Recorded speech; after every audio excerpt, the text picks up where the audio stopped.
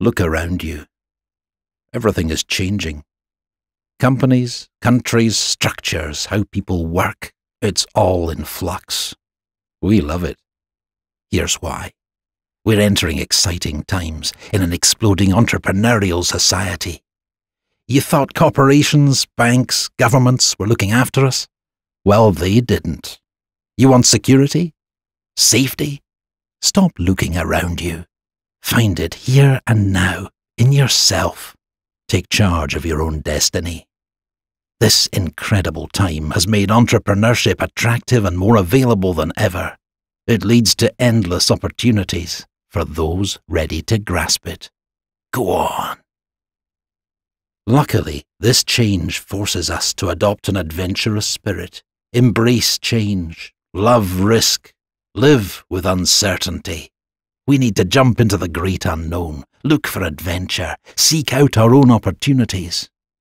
Like the original explorers pioneered their way across seas and continents, we are faced with few compass points.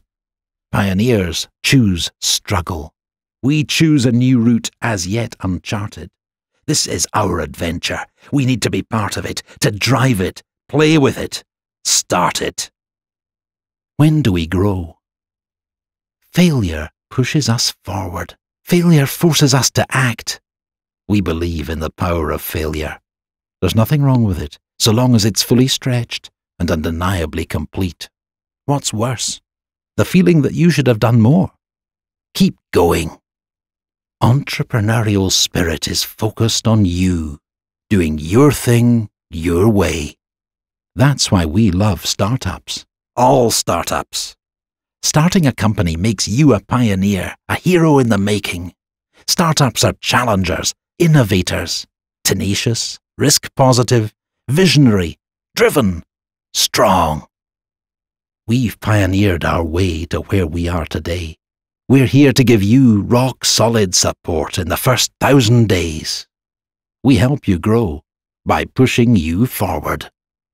To start and proceed takes courage. It takes guts, madness even.